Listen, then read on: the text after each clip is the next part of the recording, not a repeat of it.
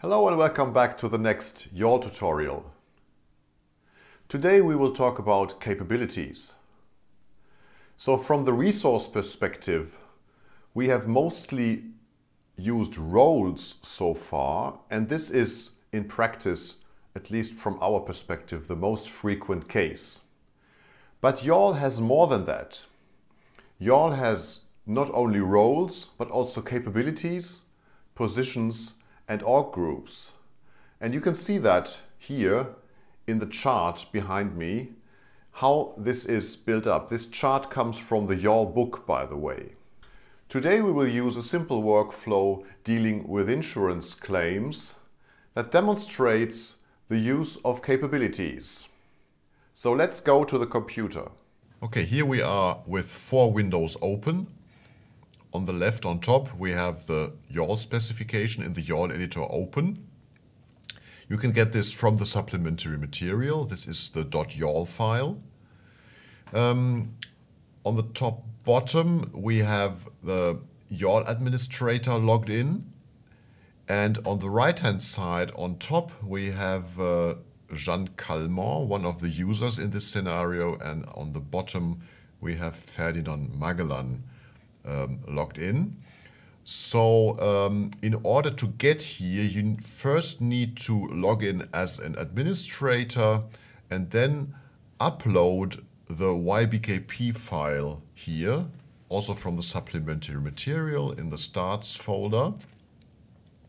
And um, then um, when we go through the org data here, um, we first see the roles. So there's only one role called claims and this role has three participants, Jeanne Calment, Ferdinand Magellan and Albert Schweitzer, and they are all here in this scenario, and two of them are logged in in the windows on the right-hand side.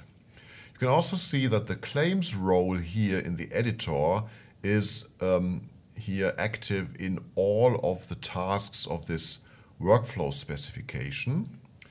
Uh, next we go to the capabilities and this is the topic of this tutorial and we have three capabilities health insurance, life insurance and travel insurance and we have different users with these capabilities so we have Albert Schweitzer for health insurance, Jeanne Calment for life insurance and we have two participants Ferdinand Magellan and Albert Schweitzer for travel insurance.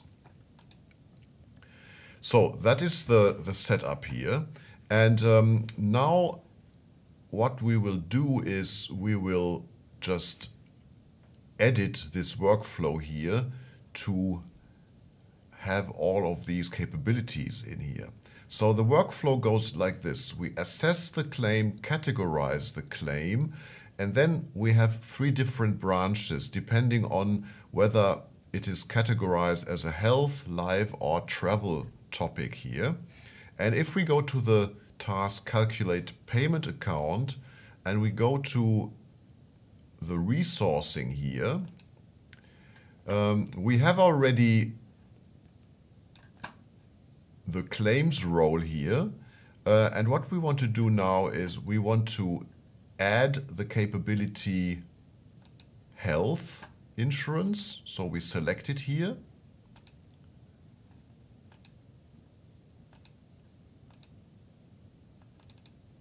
Have to double click it and then it is here. Um, next we go to calculate payment account for the life branch here and we go to resourcing and we select the capability life insurance here. Note that you can also um, have an AND or an OR operator here for the capabilities. So you can also say that you want two or more capabilities for a certain task. And the third one is the travel task here. So again, we go to travel insurance. I have to double click it. Okay. Now that we have that, we can upload the specification to the YAWL engine. So we have a new case with case ID 1 now. And if we go here to the admin work list, we can see that we have assess claim offered to all our three participants. So um, I will take this participant here and go to the work list. We have to refresh it here. And then we have assess claim. So we're on the first task and so we will work on that one. And then we have um, someone with a claim and we will not reject this claim. So we say complete here. And if we refresh the admin queue, we can now see that categorize claim is offered to three participants. So um, we can have any of these participants can do that. So we can take this um, Magellan user, for example,